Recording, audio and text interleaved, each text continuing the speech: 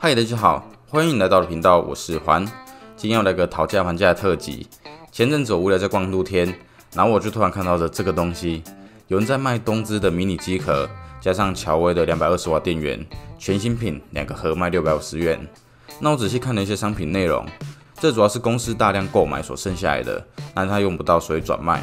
然后电源是 Flex ATX 的规格，就是比我们一般的 SFX 电源要再更小，而且是长条形那种电源。那就突然想到说，前阵子我家客厅那台影音机也寿终正寝了，再加上我之前有开箱的五千元电脑，里面的 CPU 和主机板可以拿来用，那这样凑一下就可以再生出一台迷你影音机了。所以我想了一下，考虑到单买全新的 Flex ATS 电源不算便宜，而且六百五十元就能买到全新的机壳加电源配置，其实也是蛮划算的，所以我就直接下单，加运费总共七百二十元。那我们就看看说这东西到底能不能用吧。那东西到后我马上就跑去领了。这种领货期待感，真是比收到情书还令人兴奋哦！我相信大家一定可以感同身受。那我们要先用电竞后挡板做开箱。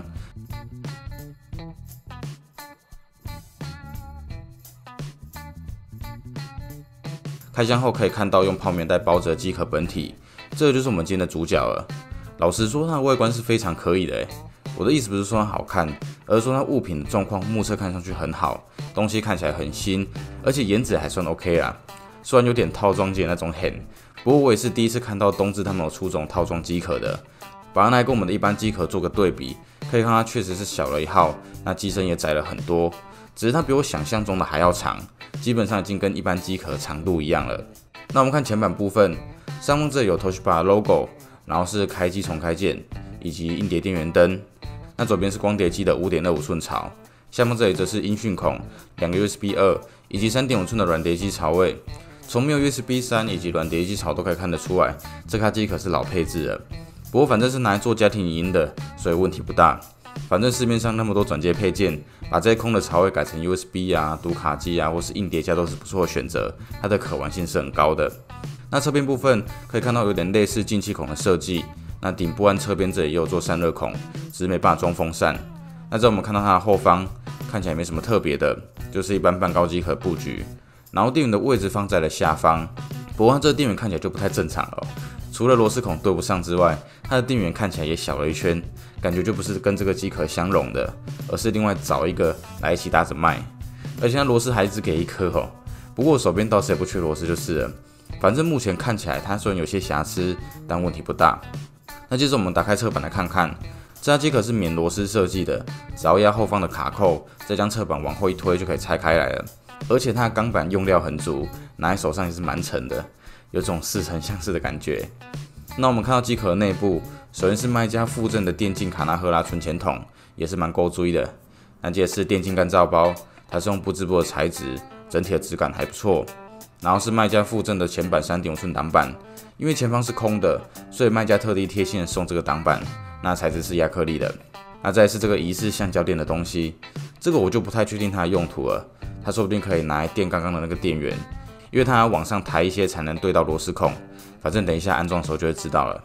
那接着我们现在看电源的部分，外观看起来确实是全新的，没错，没有生锈啊或是使用过的痕迹。那这边这里有一颗八公分的风扇做散热，另外一面这里是可以看到电源的标签。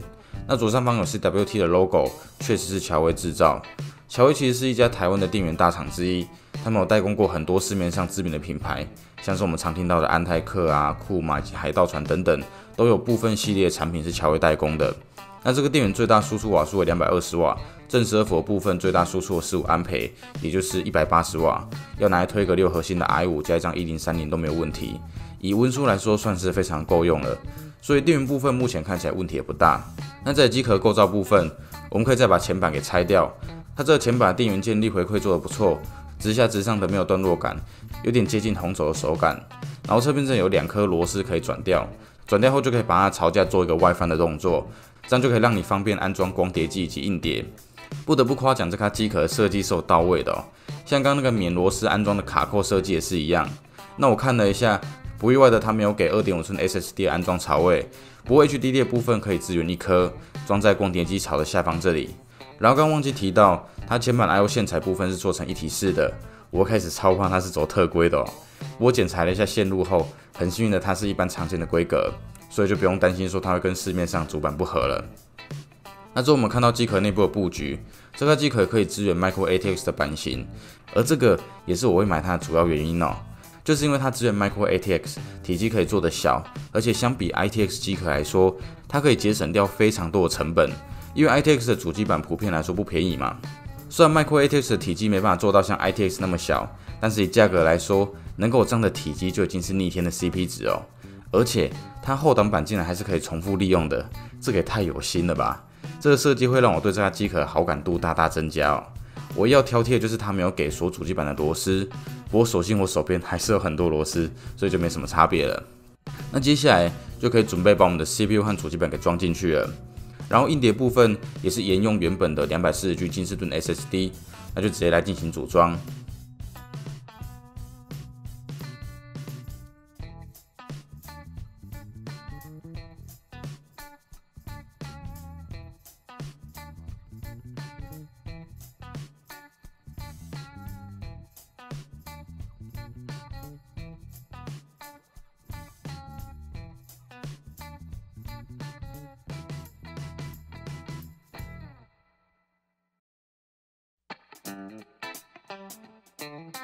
这我发现它右下角的螺丝孔，它的孔位没有对上，等于是右下方会有点镂空的状态。所以这时候刚刚机壳里面附赠那个橡胶软垫就派上用场了，把它背面的胶给撕掉，粘贴在机壳上面，那张主机板就好好的被支撑住了。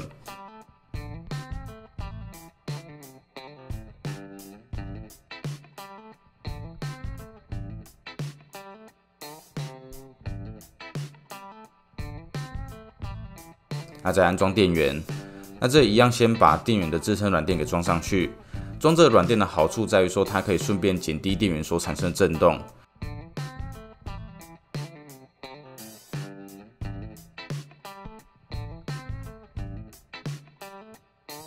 那接着是我们的 SSD，这就找个地方做固定就好。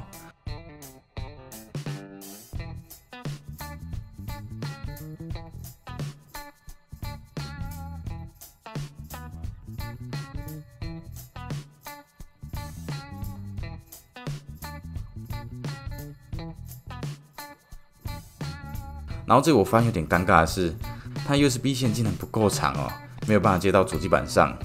那这部分可能之后要去买别人长线来接了，所以这里我就先暂时给它放着。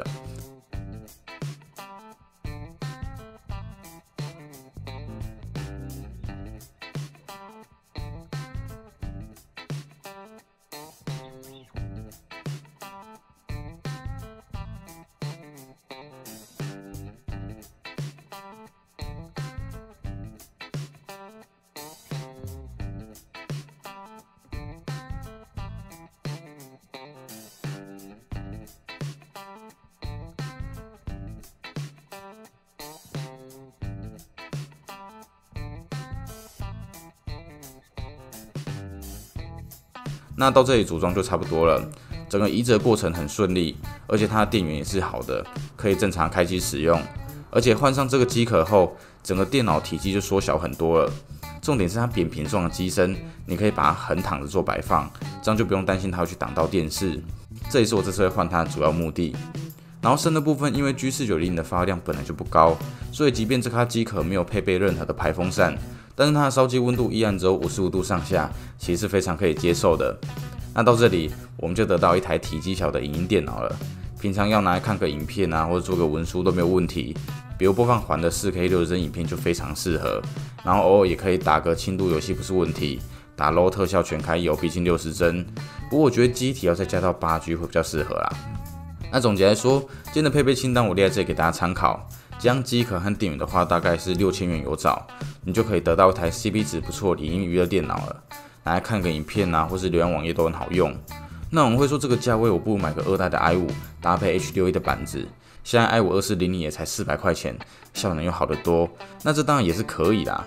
组电脑本来就没有绝对的对或错，只要组得开心，你送点贺。不过像这次用的新平台，它有一个好处就是零件都还有保护，并且稳定性也比二手零件来的高。至少你不用担心二手主机板会不会给你闹脾气之类的问题，所以算是各有好坏吧。要怎么取舍就看个人。那今天以七百二十元韩运的价格买到这组机壳电源，我觉得算是蛮超值的。给文书机用，可以兼具小体积，也能节省很多预算。所以如果这类需求的人，那今天这支影片就给你做个参考。那有什么问题，可以在下方留言告诉我。我是环，我们下次见，拜拜。